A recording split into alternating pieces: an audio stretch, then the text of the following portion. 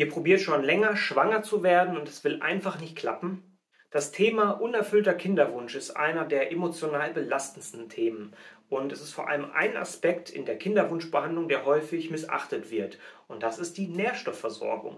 Mein Name ist Tobias von Knupp und Niehaus, deinem Kanal für ganzheitliche Gesundheit. Und in diesem Video schauen wir uns einmal die Nährstoffe an, die mit Fruchtbarkeit und Empfängnis zu tun haben und auf die ihr euch konzentrieren solltet. Grundsätzlich sind hierbei zwei Gruppen an Nährstoffen besonders wichtig. Das sind einmal die Spurenelemente und die fettlöslichen Vitamine. Bei den fettlöslichen Vitaminen sind es vor allem die Vitamine A, D und E, die für eine gute Fruchtbarkeit wichtig sind.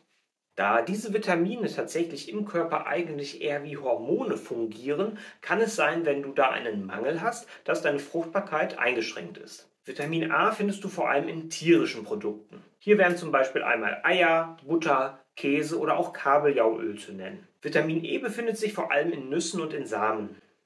Und Vitamin D bekommst du durch ein gesundes Maß an Sonnenlicht. Bei den Spurenelementen sind vor allem Zink und Jod besonders wichtig, weil sie Enzyme aktivieren, die für die Eiweißbildung, also die Proteinsynthese wichtig sind. Und das ist letztendlich eben der Baustoff für neue Zellen und neues Gewebe. Insgesamt macht es auf jeden Fall Sinn, ähm, die Blutwerte einmal ausführlich kontrollieren zu lassen, ähm, da dies tatsächlich häufig nicht in aller Sorgfalt äh, getan wird. Und da würden wir empfehlen, den Fokus dann vor allem auch nochmal auf Vitamine, Mineralstoffe und Spurenelemente zu legen. Falls du das Gefühl hast, mit deiner Ernährung und mit deiner Sonnenlichtexposition nicht auf einen grünen Zweig zu kommen, dann kannst du diese Nährstoffe natürlich auch supplementieren durch Nahrungsergänzungsmittel. Unsere Empfehlung packen wir dir einmal unten in die Videobeschreibung, da kannst du gerne im Anschluss des Videos einmal vorbeischauen.